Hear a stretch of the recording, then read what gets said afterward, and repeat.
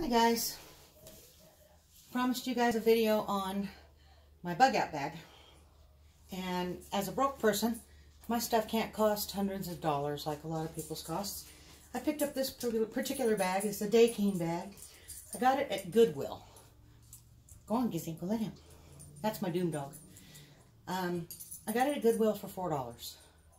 Okay, it needed a couple of zipper pulls, but the zippers were fine. That was it. I believe I checked online at the time I got it, and we were going for something like 200 euro or something like that. It was a very expensive bag. So um, I feel like I got a killer deal on just the bag alone.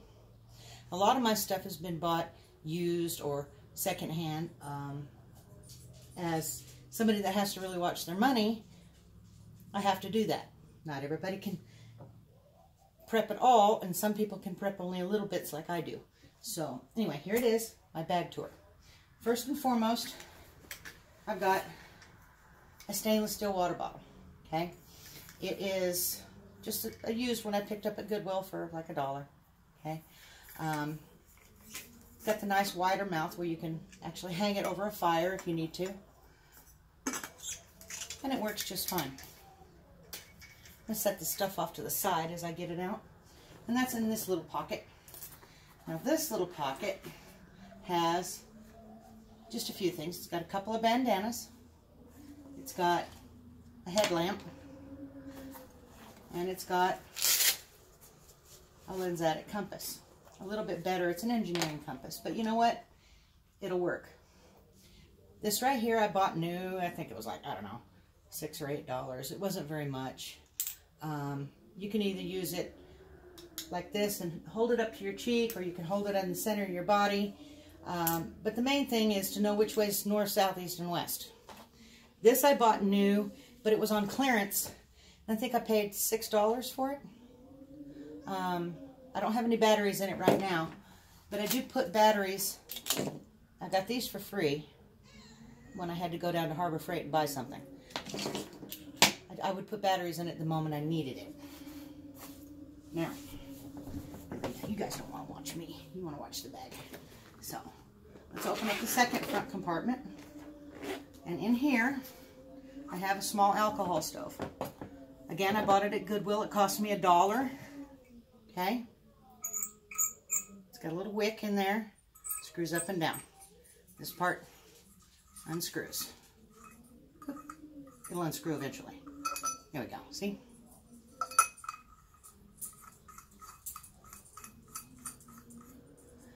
Now, I don't have any alcohol in here yet because I didn't want to put something liquid in there yet.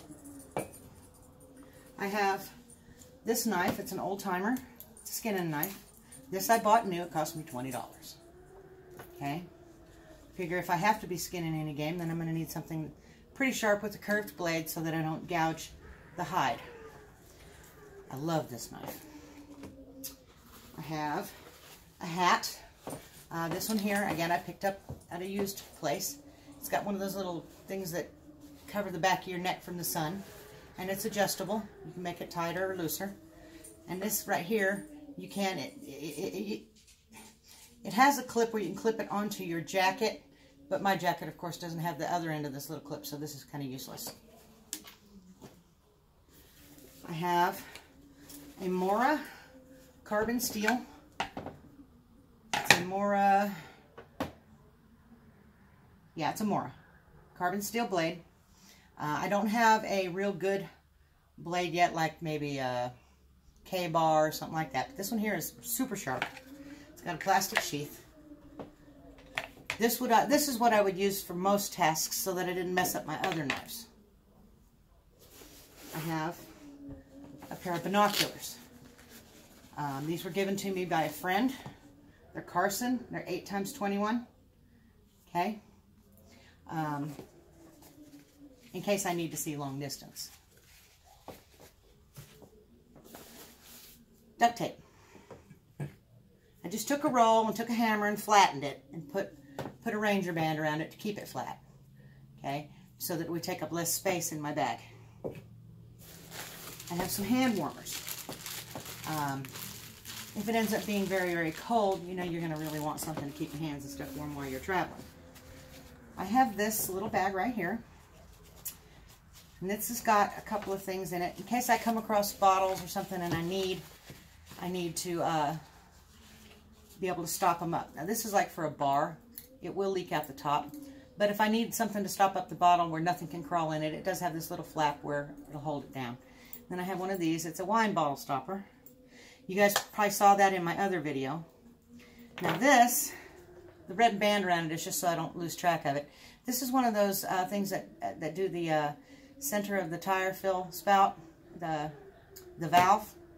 You can tighten or loosen a valve with one of these in case you have to fix a tire. Or in case you have to disable a tire without ruining it.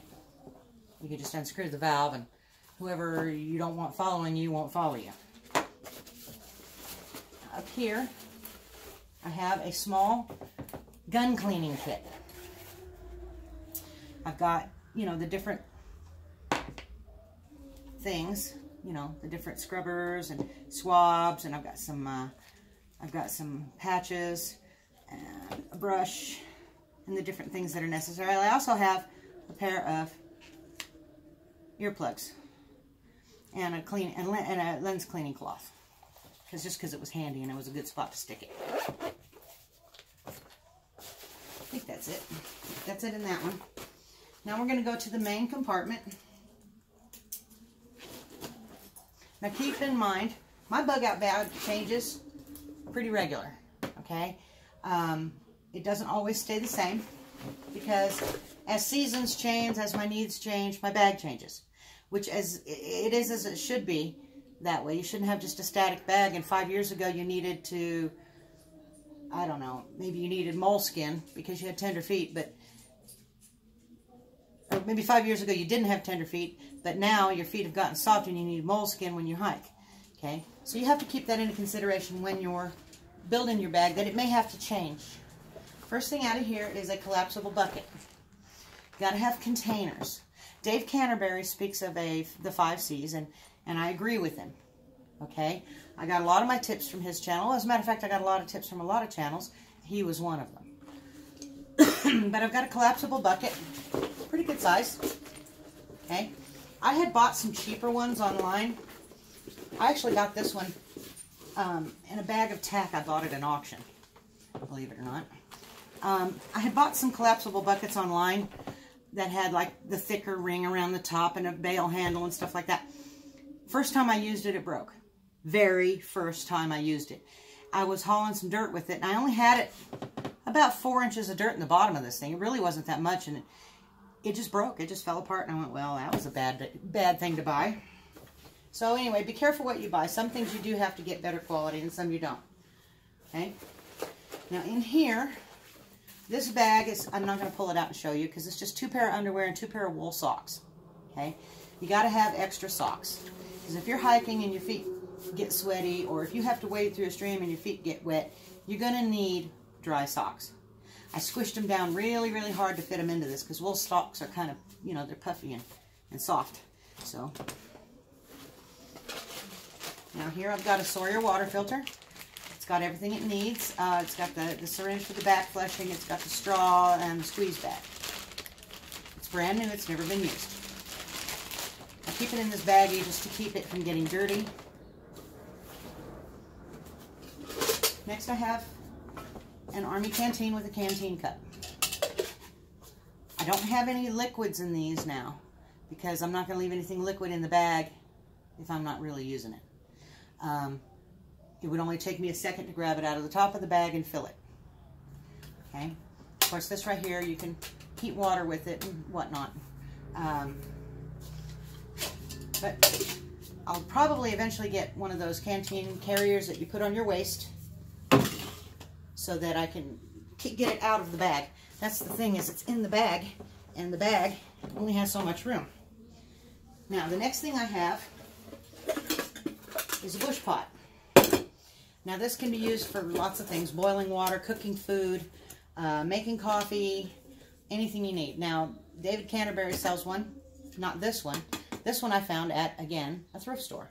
It's got a nice lid on it, okay? Um, it's got a handle. You can use it to pour. And, of course, the bail handle, you can hang it. Now, inside the bush pot, I have several things. First of all, I have a Kevlar glove. Okay? This glove is for if I have to use a knife. I put this one on my left hand.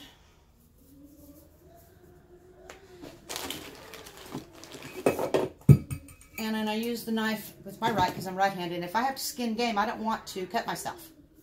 You know? So, this is a good thing for me to have because I'm kind of klutzy in that regard. And I really don't want to get a bad cut that could possibly get infected in a shit hit the fan situation. Now this is completely full of bouillon cubes, okay, um, for making soups and stews and things. I really don't have, I don't have any other food in my bag yet. I'm actually making up a second bag, which I show you. I'll show that to you probably tomorrow or the next day so that uh, you guys can see what my add-on bag is. There's, I have like a three or four bag system okay? Because um, not everything's going to fit in one pack, okay? But this is bouillon cubes, and I keep those in here just because if I need a soup or something, I can, I can have that. Next is a tea ball. It's aluminum. I think I paid 25 cents for it. I could put coffee in here. I can put herbs in here. Let's say if I had wanted to use some herbal medicine and needed to make a tea out of whatever, okay? Passion flower or, chamomile or, or pine needle or whatever the case may be. I could put it in here and not have to strain it out later. Now, I do have a strainer. Okay. This came out of another pour-over coffee pot that I had. Uh, I still have it, actually. But I wanted the bigger pot. So I, but I didn't want two pots. So I just robbed the strainer out of it. And the other pot, I think I paid a dollar for it. And this one here, I think I paid like $3 for it, was it? Not very much, okay? But I put that in the bottom, so I have it all here. Actually, I could put these in there too, probably. But we'll deal with that later. But a bush pot's a good thing to have. There's a lot of things you can do with that. Okay. Now, the next thing I have, this is the last of my cookware, is I've got this little bitty stainless steel set with a lid. Now, this bottom one is a strainer, and the top, uh, this top one is a strainer, and the bottom one is like if you steamed something. Um, this would be good to strain a lot of things out. You could put your bandana over the top of it. Push it down in here.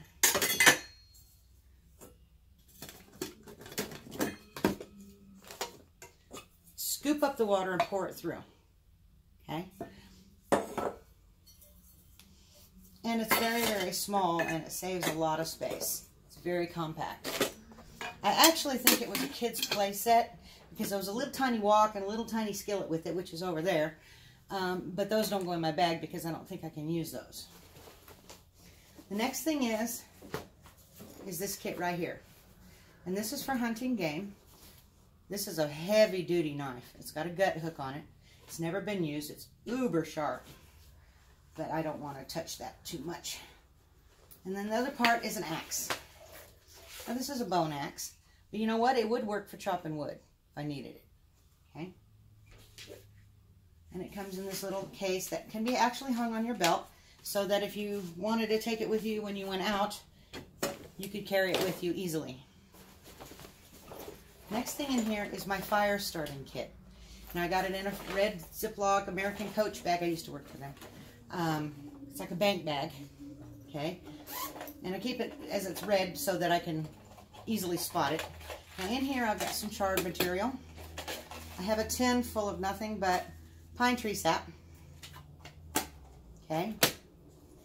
I have one of these. This is the magnesium fire starter. It's got the little striker. I have one of these ever matches or whatever they're called. Um, this one here, you put, I got the lid on real tight.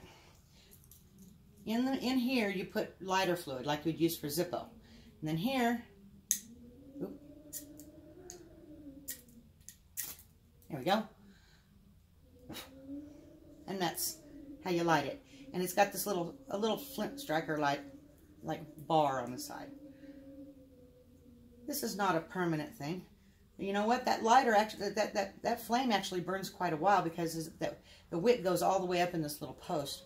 So it has a little bit of time where you can get something started. I also have in here two brand spanking new Bic lighters. two ferrocerium rods, one with a handle. Then I have an extra striker and a P38 on this one. Now you guys remember my last video where I showed you my uh, EDC Get Home bag. Now that also had a ferrocerium rod and all that kind of stuff in it. Uh, fire to me is a very, very, very important item. If you can't get a fire, you're going to freeze to death. Um, if you can't get a fire, you might not be able to keep bears and mountain lions away. Uh, if you don't have a fire, you can't boil your water, cook your food, anything. Fire is, to me, is extremely important, which is why I have such an extensive fire kit. Next thing is a wool neck gaiter. Okay? Goes around your neck, keeps your neck warm. You can pull it up partially over your head. You can use it for a lot of things, but it's solid wool, Army issue. Bought it when I was back in um, in uh, Akron. There was a there was a, a military surplus place. I got that, and I also got this extreme cold weather military parka right here, which I wore for one winter when I was up in Ohio, and it worked great. Oh, I was toasty warm in it. It was awesome. If you guys ever want to buy a coat that's for sure going to keep you warm, that's the, that's the ticket right there. Guaranteed. That thing is super warm. Now in here I also have a folding saw. This one is not a very good quality of one, okay? But it would get me by in an emergency. In my other kit, I'll show you whatever I, whatever else I have. But just for my shit hits the fan grab and go bag, I have this. I also have two pair of gloves. Oops, where's the other one? I have a pair of white cotton gloves, which are good glove liners, and I have a pair of leather gloves for if I'm handling access saws, anything that might possibly damage my hands. And last but not least in here, I have a belt. It's one of those army issue belts. You can even make a tourniquet out of this one, okay? There you go. And there's that. Now that's my bag. What else is supposed to go in there? Oh, I don't. What I don't have in the bag that's going in the bag is a little add-on um, uh, first aid kit. The first aid kit is a complementary kit to the one that was in my EDC bag. Okay. Now the one that's going to be on this, I have to hook it out to the outside, which is fine. Um, it's going to have in there, it's going to have a snake bite kit, uh, aspirins, Tylenols, any kind of medications I would need, like maybe blood pressure medicine or antihistamines or antidiarrheal or anti-nausea, um, all kinds of different medications. And it's about this, it's about twice the size of this.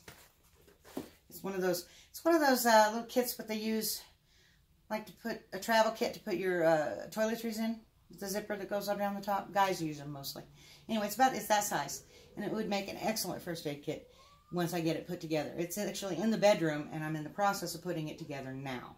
Um, that's going to go attached to this. It all it, it, almost everything in here is complementary to my everyday carry bag, which is right here. Um, my third and fourth bag are going to be like duffel, small duffel type bags. And in there is going to be stuff that I don't have in my bag, like cordage, um, a tarp, uh, anything else, food, things like that I might need. Now right here, I have my sleep system. I have a cheap, cheesy $20 bag. Yeah, I know it's a crappy bag, but it's what I have. And I got it for it's on sale for 17 or something like that. That wool blanket I bought at the at the thrift store. It's a solid wool blanket. I got a really good deal on it. I paid two dollars for it. And then the whoopee up top is an extra one that my son had. Um, the uh, the cats scratched up a corner of it, and so he got himself another one so that when he got when they looked at all of his gear at work, he wouldn't get dinged on it. So he gave me the old one. And those three items are my sleep system as of right now. Um, I did have a discussion with my son. I'm gonna have I'm gonna get an MSS sleep system, the three or the three bag thing with the outer Gore-Tex type bag, the cold weather bag, and the other bag, and they all fit inside of each other. Uh, I am gonna get one of those. someday. Now over there is my poncho. Uh, I had bought that about 10 years ago. Uh, I got it from cheaperthandirt.com. I think it was cheaperthandirt.com, yeah. And at the time it was $14.99. I think they're like $29 now. But I had bought two or three of them and that's the only one that I can find. So I guess that's the only one I have left after getting moved and everything so many times. But it's a good solid military poncho. It doesn't have any holes, doesn't leak, it works fine. Uh, that'll also be attached on the outside of my pack because there is no sense of having something like that down at the bottom of your pack if the skies open up and start raining. You want to get everything covered up right away. And also, excuse me for walking around behind the camera, I have several other items that are going to be in or on my stuff when we get ready to go somewhere. Now, I live in the desert. Water is a big thing. I had originally decided to use this canteen when my son gave me the other one. Okay, he gave me this one about 10 minutes after I decided to use that one. So seriously cool. But this one would be a good addition. Uh, if you are traveling, say I live in the desert, like I said before, and water is scarce. You have to carry a lot of water with you because it's not just everywhere. So if a person were to be able to take their pot, strain any water that's found, boil it, you fill up this one and this one and the water bottle and have enough water to get me someplace. Because uh, that's quite a bit. That's almost, a, that's right at a gallon of water, pretty handy. Which is about eight pounds all by itself. So weight is an issue. This entire setup, not counting water, okay, uh, dry, the way it is with everything empty, probably weighs in the neighborhood of 22 pounds. It's not very heavy. Go on, cat, get out here. Hang on. She's going to knock the camera over. now this was, look, not this. This was a bag that I had when I had a motorcycle that went over the top of the bags in, oops, got wet, in my, uh, on my motorcycle. I had some luggage that would fit on the, tied to the back of it. This would go over the top of it to keep the rain off. This right here, I can put this over my bag. Boom. Rain protection. I also have this larger duffel bag, which I plan to keep on hand. It's also rain waterproof. Well, I guess it's not waterproof because it's not completely plastic, but it's extremely water resistant. And I can put my jacket and my sleep system, anything else in here that I feel I need to keep dry. Which I planned on when I roll up my sleeping bag and everything, put it all together. I plan on putting it in this, rolling it up, and then attaching it to the pack. This right here is a grill cover. Haven't figured out what I'm going to use this for though. But it's very large. It would actually make a really good ground cloth uh, to keep moisture from seeping up from the bottom into my sleeping bag or as a cover. I also have a, uh, I have a, a, hammock. It's a pretty decent one too. Uh, I got it at one of those places that buys pallets of returned merchandise. And there was nothing wrong with the hammock. Um, $7, was it? Yeah, I think it was $7. No, no, no, no, no, no, no, no. It was $7. I got it for 5 because I made him an offer. This would make a real good cover to go over the top of that because it's pretty long, actually. I don't have a good tarp yet, except for canvas tarp, which is uber heavy. Uh, now, it is a good tarp, but carrying it with me, just the tarp itself weighs about four or five pounds all by itself. It's a heavy canvas tarp. Uh, I might not want to take that with me. I want to get one of those sil nylon tarps is what I'm shooting for. If I could get me two of those, they don't weigh hardly anything. They pack up really small, and they're waterproof. So we'll get one of those. Over there I have all my uh, cordage. Excuse me. In here. And this is going to go, I shouldn't even show you this because it's supposed to be in the other video. But one of the things I wanted to show you was this light. It's got two clamps. You hook it onto a battery and then the light works. Mechanics use this. Okay? Weighs mm, not as much as a can of soda. Not even. Okay? And then I have different things in here that I'm going to be actually uh, actually showcasing on my add-on bag. Because light is important. This I could actually slip in here if I wanted to. I did have a little extra room I could do that. Well, guys, I think I've made a mess of the living room quite well today. it's pretty messed up right now. Uh, my last thoughts being, though, that if you are worried about the grand solar minimum, if you are worried about uber cold weather, you definitely need to get a jacket like this. You want something that goes down below your butt to keep the tops of your legs and your butt warm. Because if your butt's warm, a lot of you is pretty warm. Girls understand what I'm talking about. Uh, it's got the hood with the fur trim. It's not real fur. It's fake fur. But long sleeve, big deep pockets. Um, and it is water resistant. I have some spray I'm going to actually coat it with that's supposed to make it waterproof. It's supposed to dry, dry where you can't see it. It's in the bedroom. I just had to send it off to get it clean because I'd worn it for about a month and I didn't want to store it without it being dry cleaned, so I went and set it off to be dry cleaned so that when I got it back, it would be ready to go again. But even if that isn't, that sleep system isn't heavy enough to keep me warm in really cold weather, there are other things that I have with me that will, like the jacket, um, the wool neck gaiter, the gloves, the wool socks. Uh, I've got this poncho that can go over the top of me to keep wind from sucking any heat away. I can be warm to the point of sweating with these items if I were to layer them all on. Well, I think that's about it, guys. I am going to have a lighter weight jacket to go with this stuff because if you're hiking along and it's 35, 40 degrees and you put on that heavy coat and you're moving, you're going to sweat in no time because that thing really is that warm. Uh, so I'm going to plan on having a lighter weight jacket with me that I can wear for medium cold temperatures. And this right here will be rolled up with my sleeping bag. Going to be a pretty good sized bundle. It'll be attached to the back of this thing. But it's going to be there. And, you know, even if it was in the spring or summer, I would still take that with me. Because, you know what? If things are that bad and you feel like you got to bug out, it's going to eventually become winter. Eventually, you're going to need that coat. And who knows what kind of condition anything is going to be in if you had to go scavenge for it. So having the, a really good, solid piece of kit right there is very important. I mean, you don't have to spend, I spent $100 on this jacket, okay? Uh, I had a, I had a little extra money at the time. I put it on layaway. But uh, I spent $100 on that jacket. It was the best $100 I think I've spent in years. You can buy heavy coats. You can buy good solid coats at any thrift store for between 3 to $10. I mean, really. A lot of people think, oh, I'll never buy at a thrift store. Well, you know what? There's a lot of stuff in those thrift stores that are worth the money. Uh, this bush pot, for example, they're like $39. You go to buy one.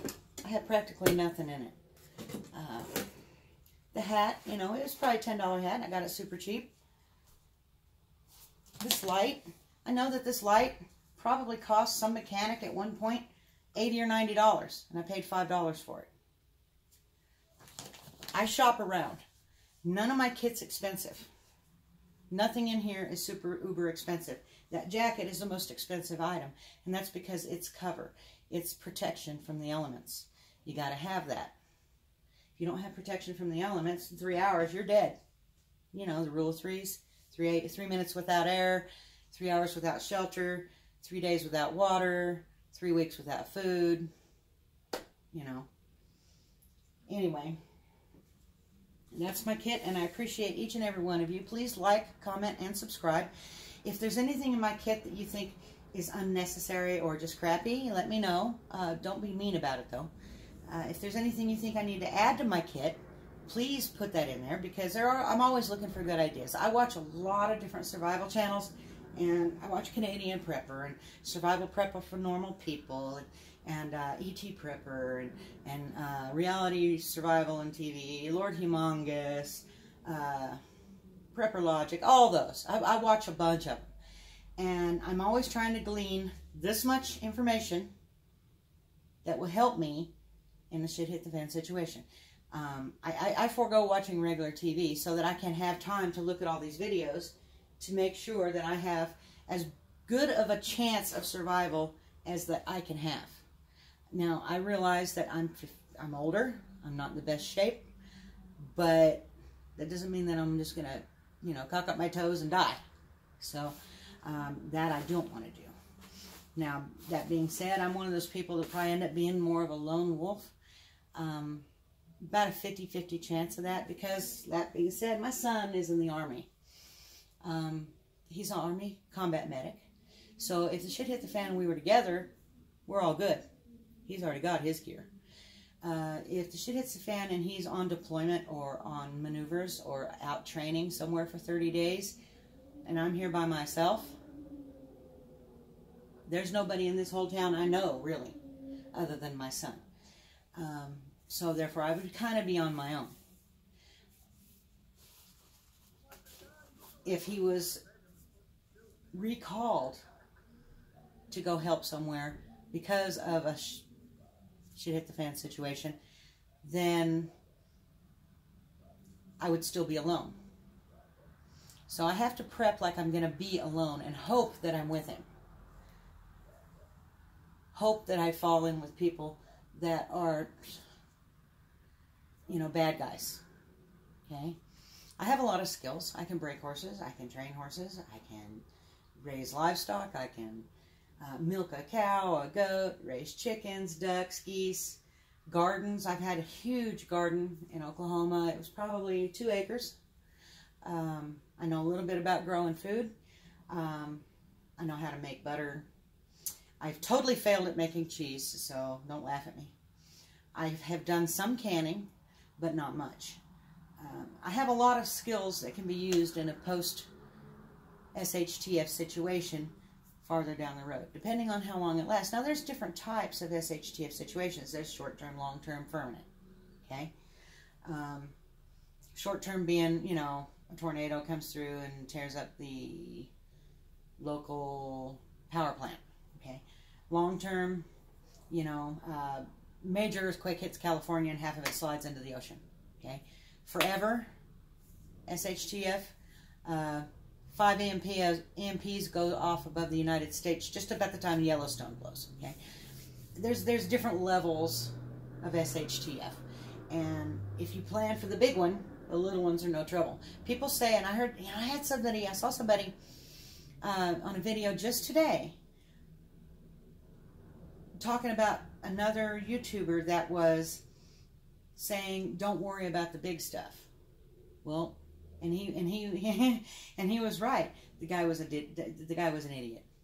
You worry about the big stuff because if you worry about the big stuff and the little stuff happens, you don't sweat it because you've got it covered.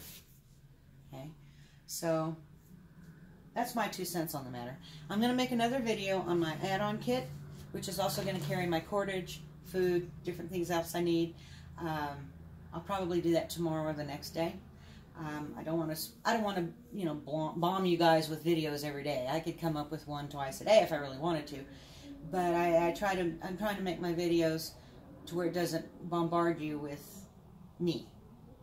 Um, I just want everybody to be prepared, because if you're not prepared, and SHTFs happens, do you really want to see your little kid freeze to death or starve? Do you really want to see your brother or sister killed or raped or murdered.